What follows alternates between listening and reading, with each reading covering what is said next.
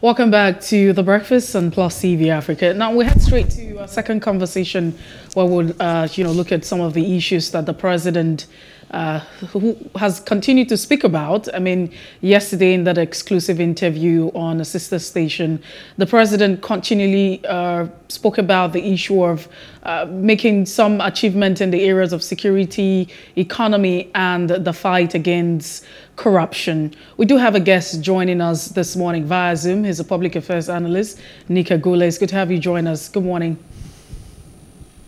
Thank you very much, and Happy New Year to you. Happy New Year. It's good to have you join us. Thank, uh, you. thank you for your time. All right, so let's get to the crux of uh, you know the issue now. I, am sure that you probably would have actually followed through with the conversation with the president, where he talked about you know making some kind of progress in terms of security in the northeastern part of Nigeria, and he also talked about the economy, the improvement on uh, you know production. I mean, talking about crude production and the fight against corruption, among other issues. Would like to share your thoughts, you know, generally on the president's uh, statement and speech and that interview. Thank you very much. Uh, first and foremost, I want to wish our president a happy new year. And I want to wish him good health and grace as he sees through the last months of his administration. I also want to thank the president for making that time to have that interview so that Nigerians can hear from him once more. Uh, we have had a president who has not been in the public eye for a long time. So for him to have granted two press interviews, exclusive press interviews, one last year and this year is, is a good thing. Uh, my general view of the president's interview is that uh, to be honest, it's disappointing because um, with six and a half years into his administration of eight years, you expect the president to be giving us what he has delivered in concrete terms and not reeling out to us the challenges that uh, we have in Nigeria. The president is not an analyst like myself. The president is the commander in chief of the armed forces. So he has got everything at his disposal to tackle Nigeria's problems. So we would like to see the president talking about how he is tackling the issues that are confronting Nigeria and not just describing the issues and talking about what needs to be in place or is not in place. So on that uh, basis, I will say that the president's overall performance in the interview fell below the mark for me.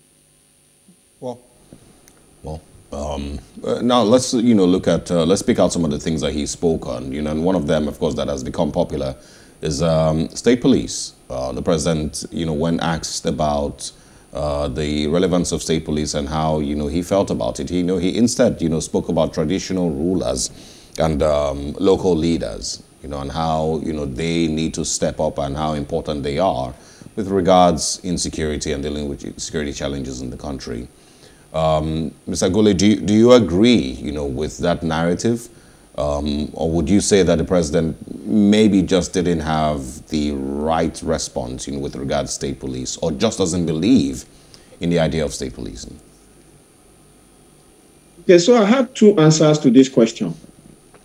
The first one is that, yes, I agree with the president that the issues of insecurity require multi-sectoral approach so bringing in the traditional institution is right. The president was correct in that instance because the traditional institution is also very important in tackling insecurity.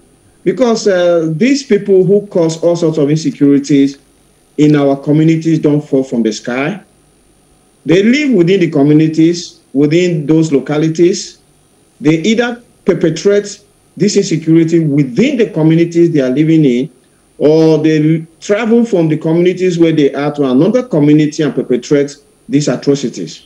So they, they are known, you know, uh, they, they, they are not, they are not, uh, they, they are not a ghost. They don't fall from the sky. They are living within the communities amongst the people of which the traditional institution is superintending. So bringing the traditional institutions into the picture is very correct. But the second answer I have to give to this is that the president's response first shot of what you expect him to say. Because, yes, the traditional institution is there, but it shouldn't be the only approach that we are going to give to local policing. The president needs to cast his eyes to all the developed economies around the world. I mean, at a point, Nigeria, we had Vision 2020. We have Vision 2020, which was to say by the year 2020, that is two years ago, we should have joined the 20 top developed countries in the world.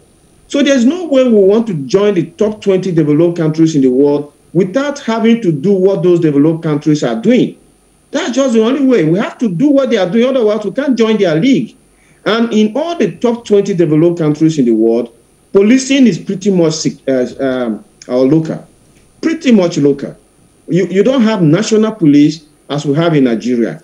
In fact, policing in some of those developed economies is on city basis. City basis. So you have Ikeja police, different from Ikorodu police, different from Victoria Island police. We're not even talking local government. But in Nigeria, we cannot say, let us just devolve down to city police. But at least let us bring policing down to the state level. When we bring policing down to the state level, two things are going to happen immediately. Number one, we're going to have a lot many more police forces in Nigeria. In the United Kingdom here where I'm sitting, there are 42 police forces in this country. So in Nigeria, if we bring policing to the state level, there will be 36 police forces all over the country. They are going to recruit more personnel because the states will start putting more money into policing. You know, and the, the, the, the, the excuse that people are given is that, oh, if you give policing to the governors, the governors are going to abuse it. This is scaremongering. Yeah, well, but the, the, president also expressed, you know, concern in that direction. I mean, he he likened the relationship. He was uh, making reference to the relationship between, you know, state government and the local government, saying that uh, what has actually uh, happened all through the years. We understand that there seemed to be a lot of domination by, uh, you know, uh, by the other party over the other one. And so um, he is also of the opinion that um, that relationship is not very cordial. It has not yielded any result. And therefore, uh, the issue of state policing is not really a solution to the security concerns that we're faced with very much for that uh, perspective. I have two answers to that uh, uh, perspective you have raised. The first one is that if the president recognizes, and in his words, he said that the governors are carrying out unconstitutional acts against the local government, the president swore on oath to defend the constitution of Nigeria. So if he sees some 36 boys around the country contravening the constitution of Nigeria, it behoves of, on him as the commander-in-chief of Nigeria and the chief law officer of Nigeria to come upon those who are actually contravening the constitution, whoever they are. It doesn't matter if they are governors. So that is one side of it. The second side of it is that when we bring that to the policing that we're discussing, that a state governor has got a police force does not mean the state governor can abuse the police force and perpetrate illegalities. Because once he does that, we are now in the realm of criminality. And the president of Nigeria is there to defend the constitution. And he has to take action about that. I'm talking about 42 police forces here in the UK. If one of the county police chiefs decided that he was going to do an illegal thing, the, uh, the, the, the, laws of the UK are going to take effect against him. You know, oh. that you are a police chief or you are a governor does not mean you are above the law. So if we have a president who has devolved policing to become local, and he's sitting now and watching and seeing who is doing the right thing and who is doing the wrong thing, and he's going after those who are doing the wrong things, then nothing is, is going to go wrong. Let me tell you one thing. I am today speaking on a private television station. I was a student, I think a university student as at that time, when the debate on whether the media should be privatized in Nigeria was ongoing. A lot of people were scaremongering all over the place and saying, oh, if you have private TV station, private radio stations, people will be executing coup every day. They'll be execu executing coup. It will cause insecurity and all of that. Since we have been having private media, TV, television, newspapers, how many coups have been executed using the private media? Well, so these are some of the scaremongerings that are going on. Well, like you've mentioned, it's you know very likely fear mongering, you know, and of course the conversation this morning is trying to understand what the president's mindset is with regard to some of these things, you know, whether um, you know governors will take advantage of, of, it or not. You know, the the point is that the federal structure that we have with regards to police is not working. Um, will state you know police be more effective? Does the president believe that state police will be more effective? Does the president understand that the federal structure with regards to police is not working? And some of all of that. Um, you know, and of course the argument that, you know, the traditional rulers know everybody in the community doesn't stop them from being criminals. A criminal is a criminal, whether he knows traditional ruler, whether he's a, a son or a cousin to the Igwe of the community, he's still a criminal. Um, and we have the police structure that should arrest those criminals or not. I'm sure that you know, we've spoken about we've spoken about this thing with, with um, security experts. You know, even in northern Nigeria, they will tell you that they know these people. Nobody has ever accused them of being strange faces. They know who they are. But they are still criminals. They're still committing crimes, still terrorizing society. I want you to finally speak um, with regards uh, the president's um, um, response to uh, the indicators. You know, he was questioned with regards to indicators on the economy, on job creation, on poverty, and the likes. Um, and his response really was that everybody needs to go back to the farm.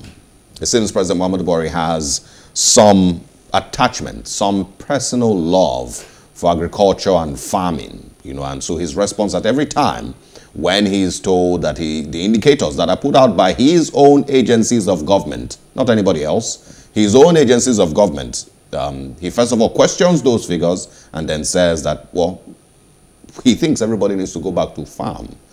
Um, Mr. Agule, what do you think? Yes, before I answer your question on the economy, I want to agree with you in the last point that you made we have a federal police now. There's a single inspector general of police that superintends over the entire police forces across the country. If that inspector general is not effective, that means the entire Nigerian police force is ineffective. If we have 36 state police forces, imagine that 50 of them are effective, 50 are not effective. It will mean that 18 in 18 states we're going to have strong police policing. You know, so generally as a country, that would be better for us than putting all our eggs in one basket. So now to go to the, the question of the economy. You see, the, the president, uh, first and foremost, answered a question of the economy by saying uh, the, the crude oil was 2.1 million barrels before he came in at $100 and all of that. And for me, this is very disappointing because the president seems not to see the real issues with the Nigerian economy. Because if you talk about that crude, let us start with that crude. Even though uh, we are producing crude now in the 1 million plus barrels, the president fails to understand that immediately we sell that crude and end the dollars, we turn the entire dollars to the, to the downstream market to buy petroleum products and import them into the country. So the president needed to have arrested that within the first year in office by ensuring that our refineries are up and running. Once our refineries were up and running, that means when we sell crude, that means we bring the dollars back to Nigeria. We don't use the dollars now to buy petroleum products. That's number one. Number two, the president for six and a half years have seen our gas being fled. And then we are going to as far as the United States to go and buy gas. He hasn't done anything about that. The president came in when power supply was 3 gigawatts to the economy. He's about to leave 3 gigawatts to this economy. In the United Kingdom, where I'm speaking to you now, the power supply every day to the UK economy of 65 million people is 730 gigawatts. And Nigeria, an economy of 200 million people, the economy is being supplied with 3 gigawatts. Three, one, two, three, not even 30. How can the president expect that economy to do well? Globally, by global standards, you are expected to supply one gigawatt to one million people. So as Nigerians are 200 million people, we should be supplying Nigeria's economy with 200, 200 gigawatts. We're giving oh, it Mr. Gule. So if, a, yes. Oh, just quickly wrap up, you know, because we need to end uh, the conversation so, here. So if, if the president has a tractor, if the president has a tractor that needs 200 liters per day to perform optimally, and he's dropping three liters in that tractor, how does he expect that tractor to work?